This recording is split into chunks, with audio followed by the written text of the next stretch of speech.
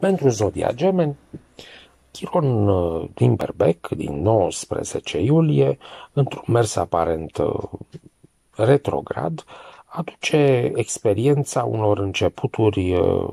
noi, poate în relațiile de la locul de muncă, poate în evoluția carierei. În perioada 19-22 iulie, Soarele în opoziție cu Pluton va activa Casa Resurselor, a bunurilor materiale, a modului cum folosiți banii celorlalți, a transformărilor, a schimbărilor, a datoriilor și aduce în, acest, în această zonă uh, conflicte între conștiință și impulsuri. Sunt uh, favorizate obsesiile, sentimentele de culpabilizare, relații de familie marcate de conflicte și de dogmatism. Între 21 și 25 iulie, Venus în opoziție cu Jupiter aduce sentimentele extreme, aduce atracția către lux,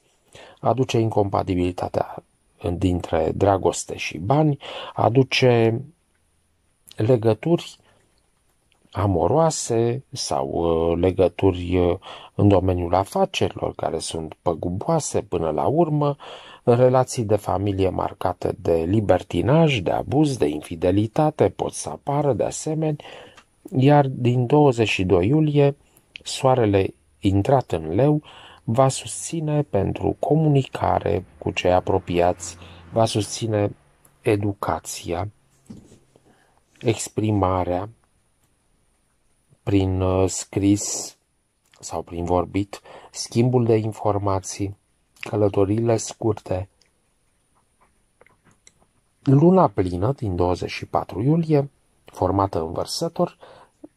pe casa cunoașterii aprofundate, a celei spirituale, a examenelor, a călătorilor lungi, a legăturilor cu străinătatea,